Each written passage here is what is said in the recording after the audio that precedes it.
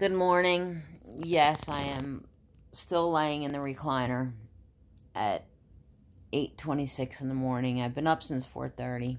I was going to do this earlier, but I didn't want to wake my boys up.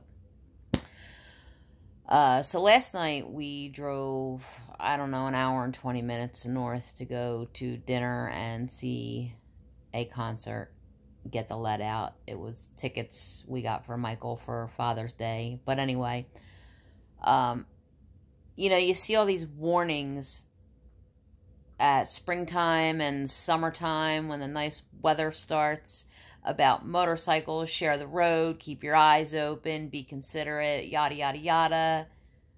Well, I do my part, but let me tell you something. Last night, there was some asshole on a motorcycle zipping by people in the shoulder, in and out of lanes, right in the middle just being a real jackass. And had he gotten hit, it would be the car's fault. Ooh, people don't pay attention to motorcycles. They're in your blind spot. You can't see them. Share the road, give respect. Well, this jackass had no respect. And then, driving home, we come across the same thing. This guy was getting so close to vehicles, it was insane. So that's a two way street, people.